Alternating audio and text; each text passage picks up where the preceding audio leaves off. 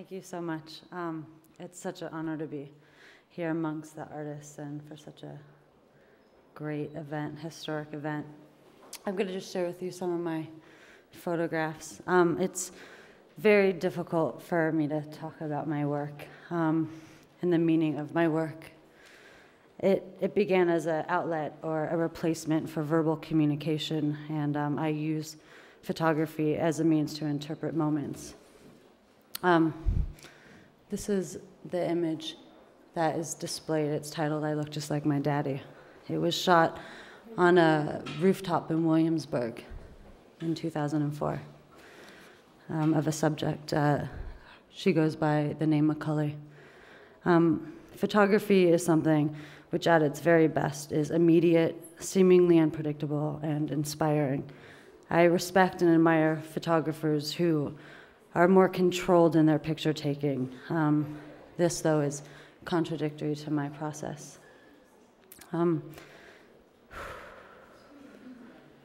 can you hear it in my voice? Yikes. Um, I've been investigating a female experience um, that reflects my own. I sort of look at the process of picture making as a form of psychoanalysis or a string of Freudian slips. Um, I have to relinquish control and just respond. And in that process, if lucky, I discover these fundamental and insignificant moments which initially seem um, arbitrary and inconsequential. Um, this is a image taken from a story that um, was published in a fashion magazine. I approached the editor with um, with the goal of, I guess, uh, publishing a story, and the the means for that to happen is I pitched it as a fashion story. So I was able to um, cast these band of characters and um, kind of use a mainstream commercial medium to get my images out there. This is Isabel.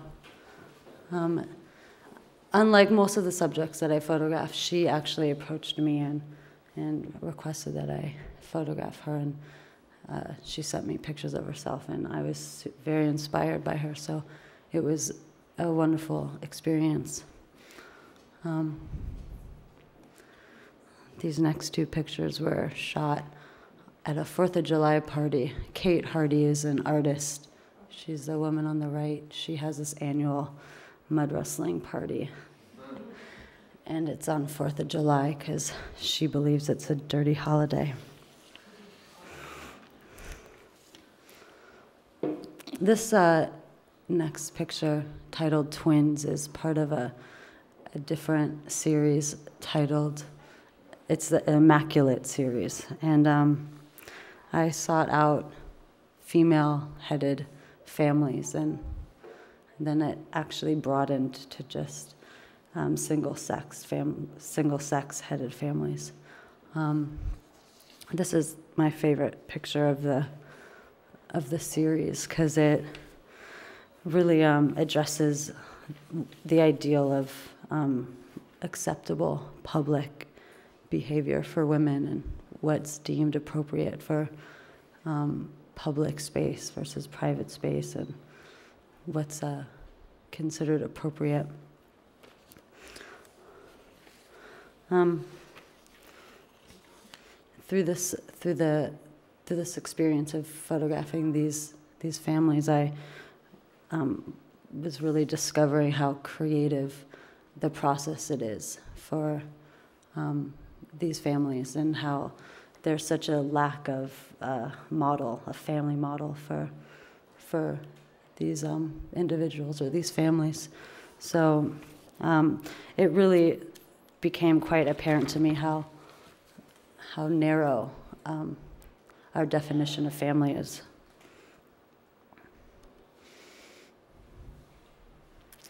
Um, interesting, this family, which is, they uh, use the brother in law's sperm um, which initially would seem quite complicated. Um, but this family was so incredible and inspiring. I had such a great time with them. And the uncle slash biological father um, lived on the block over. So they were just really close. And he had his biological children or his actual children. And they, they uh, visited while I was there. And it just was quite amazing. And the, the son that's being held up in the back, he was very verbal on how to him it wasn't confusing at all. So this um, finally is a series called JD's Lesbian Utopia, and um, it started in New York, and we traveled from New York to Los Angeles through the South, visiting gay and lesbian RV camps.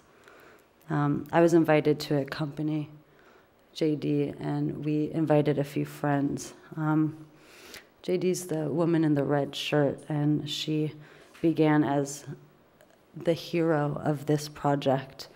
And um,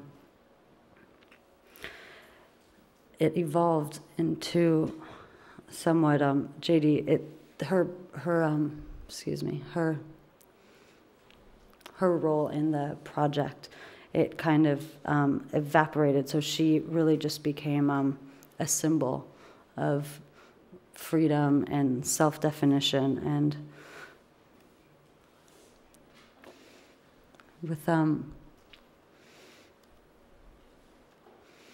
we were able to, there's such a, a difference between um, just the other parts of the country that I've I've experienced. And I grew up in Los Angeles and I moved to New York, so it's um, quite extreme.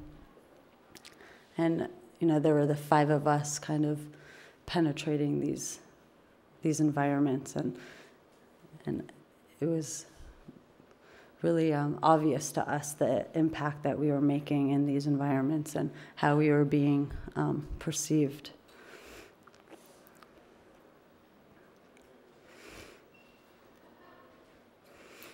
Um, in this particular project, the RV contained our world, and um, this world was defined by us. And it was interesting because we, although it was, it was just us, it was still not free of the sexual and gender politics that exist in the mainstream world. Um, oh, that's it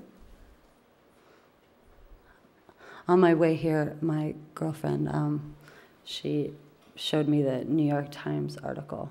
I don't know if any of you have read it yet, but it's pretty funny because this morning I was listening to NPR and there was um, a segment on Judy Chicago and how her work was received 30 years ago. And the New York Times wrote a piece on how it was obscene and it was not art. And then it was detailed too, I'm being brief. And then 30 years ago, which takes us today, there's a new New York Times article referring to this body of work as non art. And that feminism is, although a movement, it is not a, it's not a body, it's not a move, an art movement. And um, and they, were, they referred to Judy Chicago this time as the only jewel in the crown.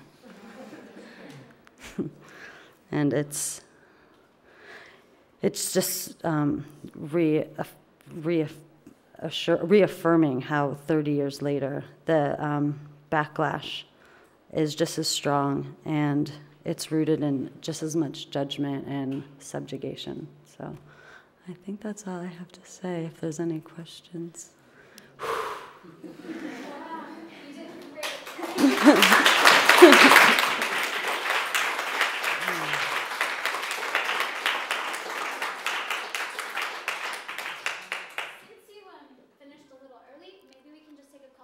Yeah, great. Is that all right? Yes. Um, so if you have a question, just raise your hand and we'll sort of indicate that.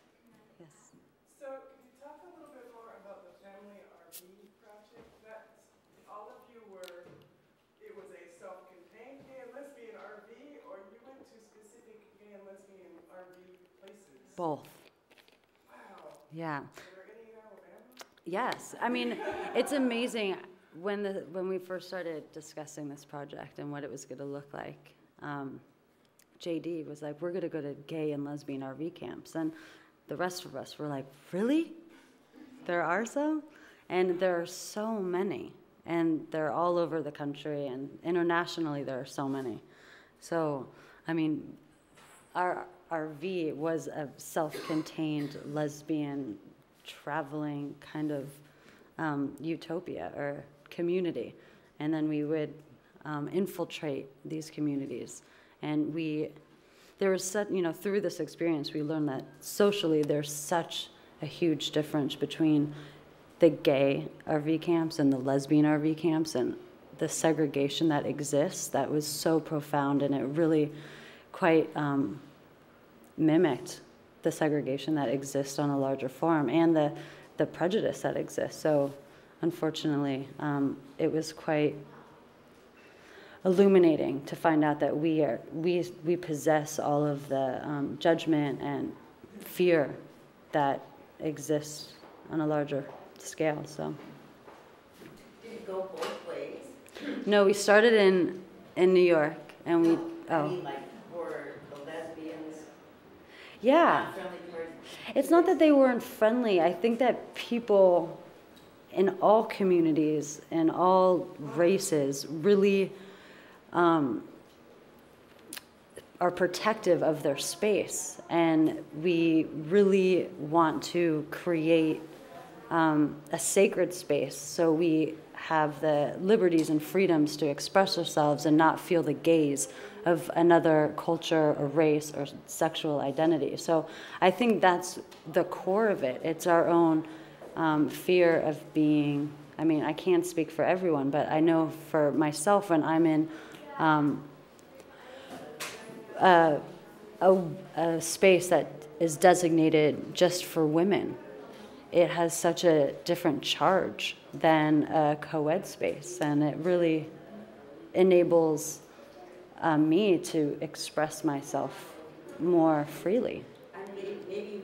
I misunderstood, but I thought you were saying that the, the RV camps that were for men, gay men, kind of seg, were segregated from the gay women. And that It's true. It's a, I mean, it's true. Anim, I mean, I, I don't know. I mean, animosity, I'm sure, in some respect, but it, I know that there are, um, when we got to a gay male campground, um, you know, we were brought in and we were told, like, this is really a male campground and they're tolerating us being there and we're, in, we're welcome to be there, but um, a lot of people have issues about mixing. And so it, um, and I, you know, I went to a, I went to a single sex college and I, I understand where that comes from. You know, I could, I have that um, appreciation for a space being designated for women or a space being designated for men. And it, and unfortunately, you want to believe that all gay people are you know, united, but um, there's a there's a, a fundamental difference on how we you know spend our extracurricular time. Cass. Awesome. Anyone else? Anyone? No more questions. I, I. Yes.